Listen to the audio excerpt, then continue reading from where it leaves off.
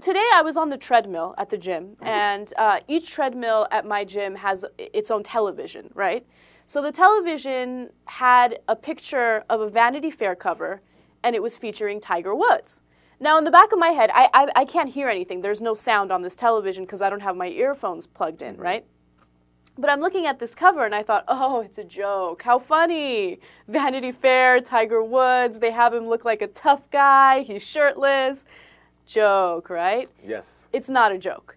Vanity Fair's February issue has this cover. It's Tiger Woods. And all of a sudden, Tiger Woods is no longer that uh, wholesome golf player. He's uh, a badass. He's holding the weights, he's shirtless, and he looks like he's ready to go to jail. What do you think, first of all, before I go to mine? What do you think Look. of this look for Tiger? No, he looks fine.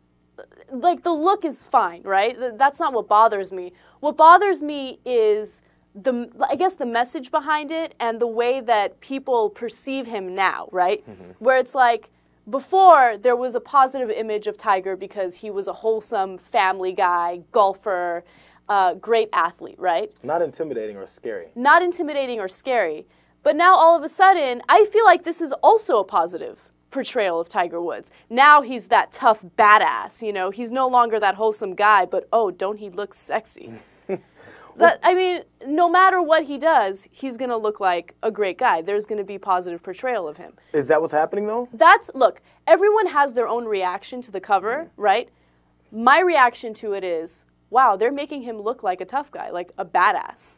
I mean, any guy or any young boy who looks at that cover is going to think, wow, he looks tough. You know, like that's that's the type of portrayal that they're trying to push. And it it bothers me for uh, for some reason because for me this is not shedding a negative light on him at all. I think it is.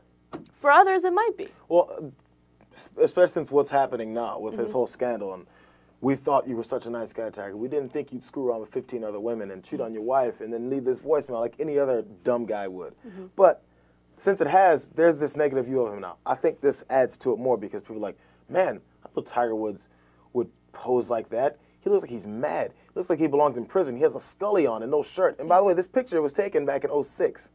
It was so messed up. Vanity Fair, well, I forget the, the, the photographer's name. She's a famous one. She does a lot of shoots with people. Mm-hmm. She had these piled up, and now they do it.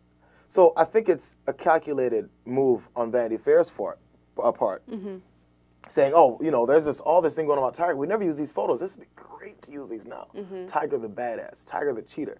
But I mean, I, I don't mind. But they're doing it because they know how people will react, and I, maybe I'll be wrong. Mm-hmm. But I think in general the reaction is going to be, "Oh, look at this guy." And, uh, even if it's in the back of a lot of people's minds, because a lot of people are just are mad at him right now when they have it's really it's none of their business. But this kind of I think will add to it. And I, I- don't know if that's what Vanity Fair was going for, but they're just like, oh, we have some provocative, different pictures of Tiger that mm-hmm. we've never released. Let's do Right. it now and do this cover story. You can tell he's skinny there. Not skinny, but mm-hmm. he's put on weight. That's one of the things people were talking about lately. He says all this weight on him, and it's mm-hmm. helped his game, whatever, and all that stuff. He looks way skinnier there. That's what. I, that's the first thing I noticed. I said, is- was this was this pre lifting weights? Because he's got like some ten pounders in his hand. You know, it's really funny how people interpret that picture. Mm-hmm. Because for me, when I looked at that picture, I, like the first thing I thought is, whoa, he looks pretty sexy. Okay. Like I immediately thought good things about him. I didn't think negative things about him, right? But for a, for a man, of course, I mean, you're going to see that. You're going to see the negative uh, connotations in that picture that I, I didn't notice at all. I mean, I I wouldn't care. I Mm-hmm. like different looks of things. If, if I was, if it wasn't, if he wasn't perceived as such a golden boy in the first place, I thought that this would be great to do. Because like, oh, look at Tiger, how he's doing this now. But since there's been nothing but negative stories on it, Mm-hmm.